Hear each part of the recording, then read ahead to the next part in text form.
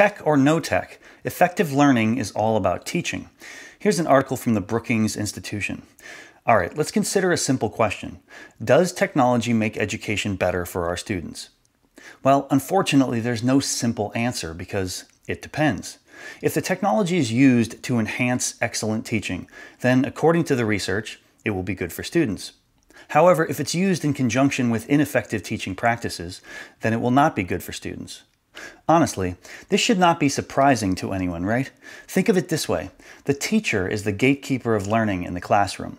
Effective teachers can make almost any strategy work, using a combination of providing students the right amount of structure for a lesson, knowing students well enough to differentiate learning, and having a personality that makes students want to do good work.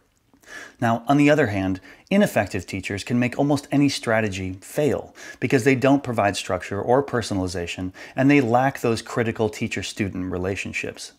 So giving an effective teacher a bunch of computers will probably work out well, where giving those same computers to an ineffective teacher might make things worse. This is exactly why the research about educational technology is bifurcated. Still, technology companies tend to cite the research that shows devices and software working in those effective classrooms in order to make sales. But when schools wonder why the technology is not working in their classrooms, they are pointed toward the other half of the research, which can be quite expensive and frustrating. So where does this leave us? Well, since teachers are the gatekeepers of the learning outcomes, we need to incentivize them so they seek out comprehensive, high quality, and ongoing training in order to bring everyone up to speed on the most effective teaching methods.